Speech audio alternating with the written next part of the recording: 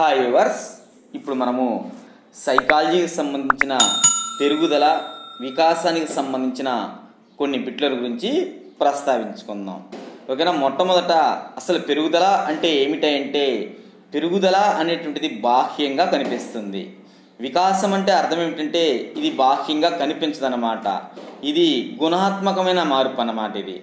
అయితే పెరుగుదల రెండు రకాలు. ఒకటి బహిర్గత పెరుగుదల రెండు అంతర్గత పెరుగుదల.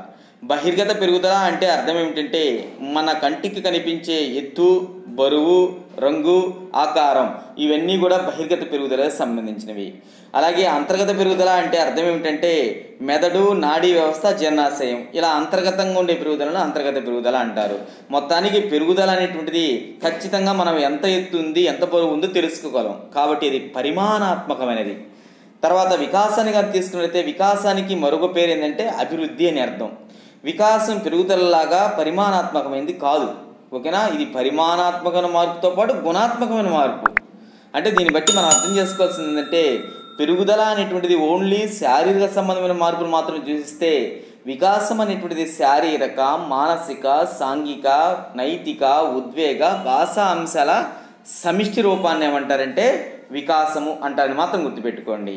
అయితే ఈ విధంగా మొత్తం కూడా మన యొక్క పెరుగుదల కూడా శారీరకంగాను మానసికంగాను అన్నింటి పరంగాను కొన్ని సూత్రాలకు అనుగుణంగా జరుగుతుంది. దాన్ని వికాస్ సూత్రాలు లేదా నియమాలు అంటారు. ఎక్కువ బిట్స్ ఈటల్లో మనం చెప్పుకునే టాపిక్లో ఆ వికాస్ సూత్రాల గురించి వస్తుంది.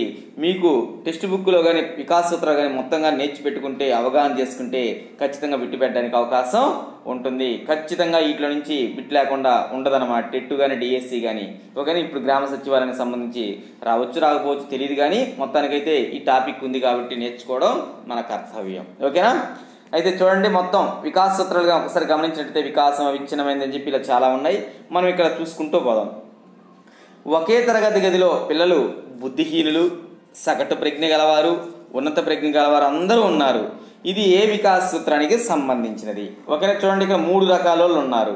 మూడు రకాలలో ఉంటే దాన్ని బట్టి మనం అర్థం చేసుకోవాల్సింది ఏంటంటే వికాసంలో వైయక్తిక భేదాలు ఉంటాయని మాత్రం తెలుసుకోండి. ఓకేనా? వికాసంలో వైయక్తిక భేదాలు ఉండబట్టినే మన క్లాస్ రూమ్లో చెప్పేటప్పుడు మూడు రకాల విద్యార్థులు ఉంటారని మాత్రం గుర్తుపెట్టుకోండి. అది ఈ వైయక్తిక భేదాలు ఉంటాయి అనే సూత్రానికి సంబంధించింది. అవును కదా? ఒక శిశువు ఐదు నెలల వయసులో ప్రాక్రమం ప్రారంభిస్తే వేరే శిశువు ఆరు నెలలకి.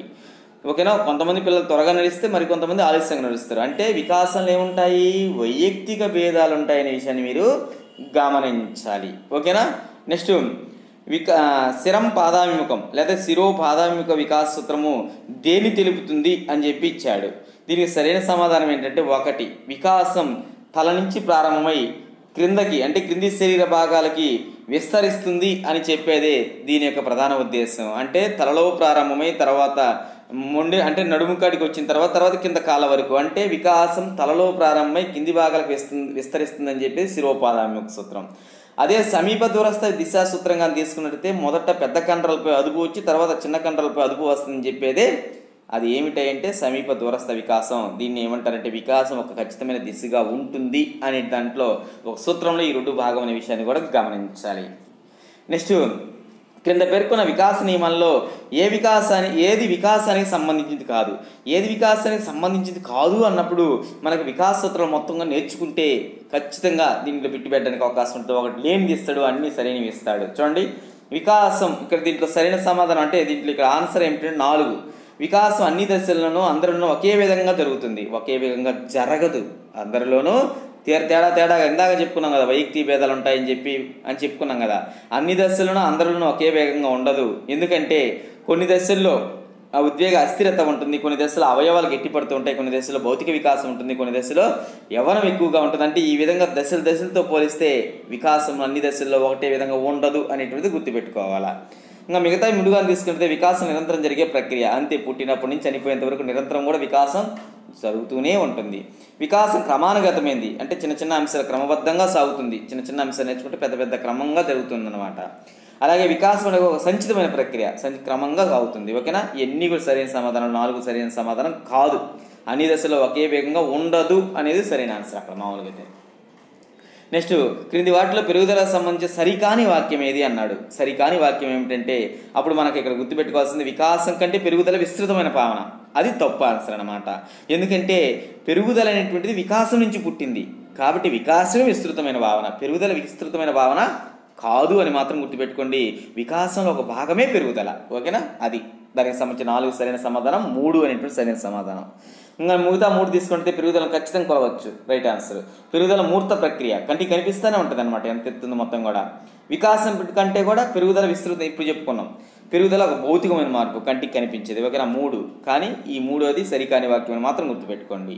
నెక్స్ట్ క్రింది వాటిలో అభివృద్ధి సూత్రాలకు సంబంధించి సరికానిది ఏమిటి? సరికానిది ఏమిటంటే ఇక్కడ విపర్యాత్మక ప్రక్రియ అనేటువంటిది సరికానిది అనమాట కొంత మూడు కూడా ఈ అభివృద్ధి సూత్రాలకి సరైనగా చెప్పుకోవడానికి అవకాశం ఉంటుంది. ఒక నిరంతరం కొనసాగుతుంది వికాసం అనేటువంటిది. అలా గతిశీలం మారుతూ ఉంటుంది. ప్రాగుప్తీకరించవచ్చు అభివృద్ధిని. అంటే రెండు సంవత్సరాల వయసులో పిల్లవాడి ఎత్తు ఆధారంగా ఇరవై సంవత్సరాలకు ఎంత ఎత్తు ఉంటాడో కూడా ప్రాగుప్తీకరించవచ్చు. ఈ మూడు సరైన సమాధానం నాలుగోది మాత్రం సరైన సమాధానం కాదు. ఓకేనా? నెక్స్ట్ క్రింది వాటిలో ఖచ్చితంగా కొలవగలిగే అంశం ఏమిటంటే శిశు పెరుగుదలను ఖచ్చితంగా కొలవగలం. కాబట్టి మూడు అనేటువంటి సరైన ఆన్సర్ ఓకేనా? శిశులో మూర్తి మొత్తాన్ని కొలవలేము శిశువులోని వికాసాన్ని కొలవలేము అలాగే అంటే అవి కొలవలేము. ఖచ్చితంగా శిశువుల పెరుగుదల మాత్రమే కొలవడానికి అవకాశం ఉంటుంది కాబట్టి దీనికి సరైన ఆన్సర్ మూడు అనేటువంటిది సరైన ఆన్సర్ నెక్స్ట్ నవజాత శిశువులో కనిపించే సాధారణ ఉత్తేజం వయసుతో పాటు క్రమంగా అభివృద్ధి చెంది ఆనందము ఆహ్లాదము అసూయ మార్పు చెందిన ఏ వికాస సూత్రానికి సంబంధించింది అంటే మొత్తం కూడా దీన్ని పెరుగుదల సాధారణ నుంచి నిర్దిష్ట దిశ సాగుతుందనేదే దాని యొక్క ప్రధాన ఉద్దేశం. అంటే చిన్న చిన్న అంశాలు నేర్చుకుంటూ పెద్ద పెద్ద అంటే ఉద్వేగాలు కోపము భయం ప్రేమ ఆశ ఇవన్నీ కూడా ఉద్వేగాలు అనమాట చిన్న చిన్న ఉద్వేగాల నుంచి పెద్ద పెద్ద ఉద్వేగాలకి పోవడం వికాసం సాధారణ నుంచి నిర్దిష్ట దిశకు సాగుతుందనే దానికి చెప్పడానికి అవకాశం ఉంటుందన్నమాట. ఓకేనా? అది వికాసం సాధారణ దిశ నుంచి నిర్దిష్ట దిశకు. దీన్నే కానీ ఇంకో రకంగా చెప్పుకున్నట్టయితే శిశువు ఏదైనా ఒక వస్తువుని పట్టుకోవాలనుకో మొట్టమొదటి మొత్తం చేయని ఉపయోగిస్తాడు తర్వాత చేతి వేలతో మాత్రం పట్టుకుంటాడు. అది వికాసం సాధారణ దిశ నుంచి నిర్దేశ దిశకు సాగుతుంది. అలాగే శిశువు పిన్ను ఏదైనా గుచ్చుకుందనుకో మొత్తం శరీరం కదిలేస్తాడు తర్వాత గుచ్చిన ప్రదేశం మాత్రమే కదిలేస్తాడు అనమాట ఇది సాధారణ నుంచి నిర్దిష్ట దిశకు సాగుతుందనే దానికి ఎగ్జాంపుల్గా చెప్పుకోవడానికి అవకాశం ఉంటుంది. నెక్స్ట్ ఎనిమిదో బిట్ కానీ తీసుకున్నట్టయితే పరిపక్వత సంబంధించి కింది వాటిలో సరైన వాక్యం ఏమిటి? పరిపక్వత. పరిపక్వత సంబంధించి సరైన వాక్యం ఏంటంటే పరిపక్వత జైవిక ప్రక్రియ అని మాత్రం గుర్తుపెట్టుకోండి. జైవిక ప్రక్రియ అంటే అర్థం ఏంటి? అంటే పుట్టుకతోనే మన సహజ సామర్థ్యాలు మన జన్మతో మనలో ఉన్న సామర్థ్యాలు అంటే వారసత్వంతో పొంది ఉన్న సామర్థ్యాలు మొత్తం కూడా మార్పు చెందుతూ పరిమాణాత్మకం కావచ్చు గుణాత్మక మార్పును చూపించే దాన్ని ఏమంటారంటే పరిణితి లేదా పరిపక్వత అంటారు. అయితే ఇంకొక విషయం గుర్తుపెట్టుకోండి ఈ పరిపక్వత శిక్షణ కానీ పరిసరాల ప్రభావం అవసరం లేదు. కేవలం సమయం వయస్సు ఉంటే సరిపోతుంది అనమాట పరిపక్వత అంటే మనం తీసుకునే ఫర్ ఎగ్జాంపుల్ చిన్నప్పుడు శిశువు తల నిలపలేడు. కానీ నాలుగు నెలలకు వచ్చేసరికి తల నిలుపుతాడు. దానికి కారణం పరిపక్వత. అలాగే తొమ్మిది నెలలకు నిలబెడతాడు. పన్నెండు నెలలకు నడుస్తాడు. ఓకేనా? రెండు సంవత్సరాలు పరిగెడతాడు. అంటే ఏదైనా ఒక విషయాన్ని అభ్యసించాలంటే పరిపక్వత ఖచ్చితంగా ఉండాలి. ఓకేనా? అయితే పరిపక్వత అనేది ఒక జైవిక ప్రక్రియ. అంటే జీవి వారసత్వంతో ఉన్న లక్షణాలు సముదాయమే పరిపక్వత అనే విషయాన్ని గమనించాలి. ఓకేనా? నెక్స్ట్ పునీత్ అనే మూడో తరగతి విద్యార్థి కూడిక తీసివేత గుణకారం నేర్చుకుని వాటి ద్వారా భాగాహార చర్యల సమస్యను పూర్తి చేయడంలో ఇమిడి ఉన్న సూత్రం ఏంటంటే వికాసం ఒక సంచిత ప్రక్రియ సంచిత ప్రక్రియ. ఒకదాని ద్వారా అంటే ఒకదాన్ని నేర్చుకున్న తర్వాత ఇంకోటి మరొకటి నేర్చుకుంటూ ఉంటాడనమాట అంటే ఆధారంగా అనేది కీవర్డ్ గుర్తుపెట్టుకోండి. ఆధారం అనేటువంటిది వస్తే ఆటోమేటిక్గా మీరు పెట్టడానికి అవకాశం ఉంది ఏంటంటే సంచిత ప్రక్రియ అనేది మాత్రం గుర్తుపెట్టుకోండి. వర్ణమాల ఆధారంగా గుణింతాలు పదాలు వాక్యాలు.